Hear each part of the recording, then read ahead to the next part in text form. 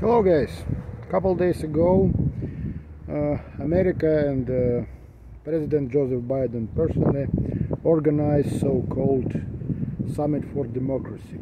It was virtual uh, meeting uh, and uh, more than 100 countries were invited to this summit.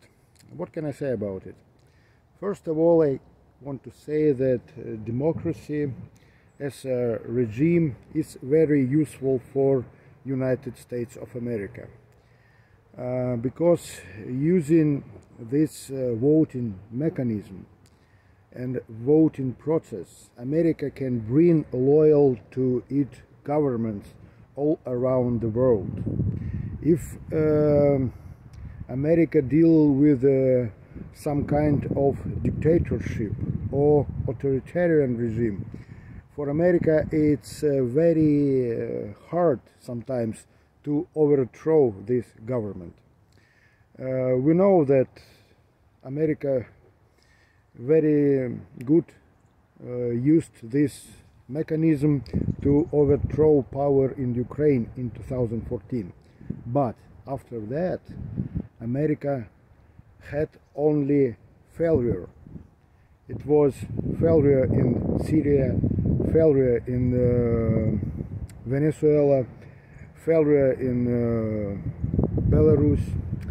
So now Americans think about uh, something new in establishing, in uh, setting loyal governments to America in any countries. So uh, they need coalition. They need coalition to do something, to organize so-called uh, revolution, democratic revolution, uh, not just like one America by itself, but they have allies, and it's easier for uh, America after that legalize any of these events like so-called democratic revolution. They try in Hong Kong, but it was failure too. Uh, so now, if we see, if, if we look at uh, number of countries invited to this meeting, uh, we can see that Poland was invited, but Hungary wasn't. Why?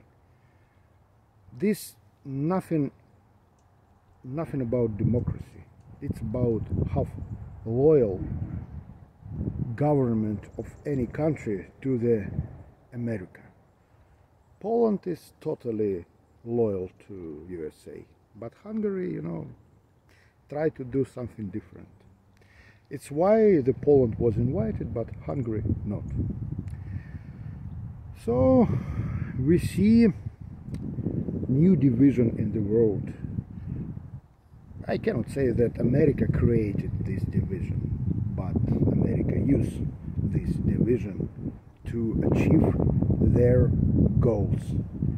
First of all, in economy, but politics and geopolitics is a tool to achieving these goals for American business, for American rich guys. Okay, see you later.